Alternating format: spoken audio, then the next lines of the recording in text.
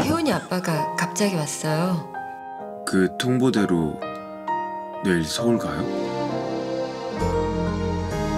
내가 며칠 내내 상상했던 게 맞는 거야? 거기서 도우 씨가 느끼고 혼란스러워하는 게 진짜일걸요? 이제부터다. 어디에도 휘둘리지 마. 딱 너만 생각해. 서도 누군지도 모르는 인간 이름이 왜 사방에서 들리는 거야? 왜?